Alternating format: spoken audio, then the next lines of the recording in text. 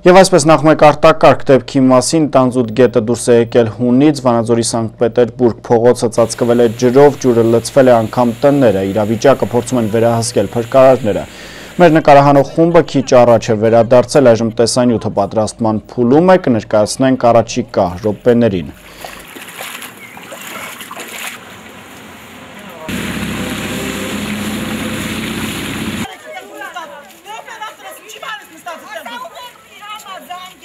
փող ստանալու, նկարեք, էնել իմ տունը։ Հետել այս հաստապ օգնությունը չի։